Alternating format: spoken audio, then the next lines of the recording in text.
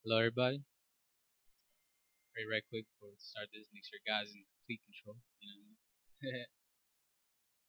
Father God, we come boldly before your throne, and I just want to pray over myself, and, and I just pray that I speak with your love, your intentions, that you move my mouth, oh Lord. I, I thank you. In Jesus' name,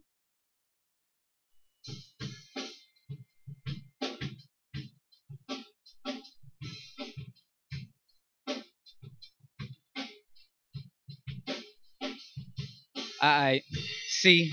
Back in the day, I was living unsaved, thinking, man, maybe I would be a plague date with some honey, but truthfully, that's not what I am today. See, now I'm living for Christ, and now I gotta play the right mode, turn left, cause he told me to do it. See, I was here spitting fluid for the devil's gates, now I'm here living for the heavenly. Now I'm telling you, this plane has got me going hella woo, high. Now I'm telling you goodbye. I'm talking about the past. Secular life is gone. Now I'm here living right, telling y'all to pick up that cross and telling you these burdens they break bones, but man, they ain't hurting. I feel so good, especially when I'm speaking about the Father. Man, I'm so hood, but only sometimes. I mean, truthfully, I'm just a simple dude. I'm kind of smart, but I acted a fool back in the day, trying to act like all the other fools in school, just smoking some weed, acting like a fiend, trying to get that money green, trying to live like these idols. And truthfully, I seen, man, they desperate for some love. I'm talking Jesus the King.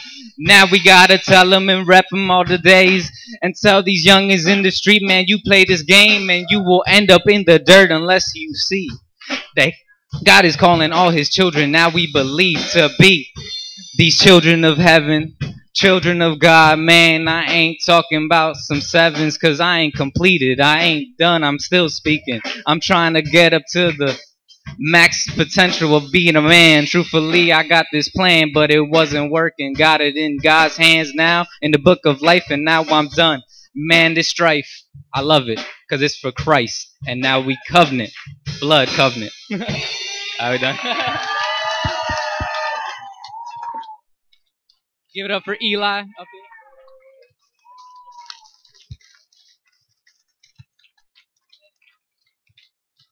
Well, I'm gonna do. I'm gonna do this for him because I know he won't do it.